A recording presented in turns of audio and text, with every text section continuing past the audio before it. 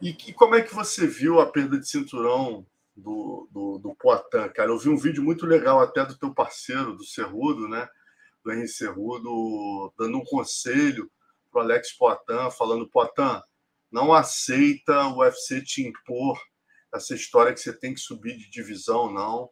Né? E você tem que. Você ganhou dele três vezes, tendo nocauteado duas. Você tem direito a mais uma. Você Cara, concorda nem eu, nem com o Cerrudo? Nem eu aceitaria, irmão.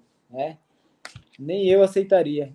E com toda certeza, Poitin merece a revanche. Poitin é um cara que já bateu nele as três vezes.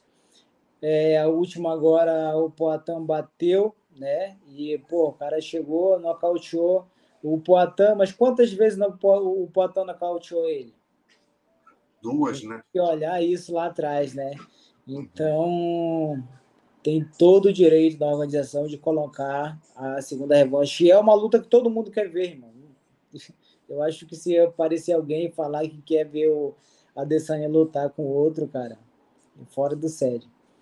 E, e, muita gente usa até o seu exemplo, né, Davis? Eu vi muita gente nos comentários, na, eu tava fazendo um papo de luta com o Carlão, a galera falando, pô, o Davidson em 25 meses fez quatro lutas com o Brandon Moreno. Pô, por que, que o Poatan, que ganhou três vezes, né, do, do, do Adesanya, não pode ter direito a mais uma luta, né, cara? A, a pedir uma negra, né?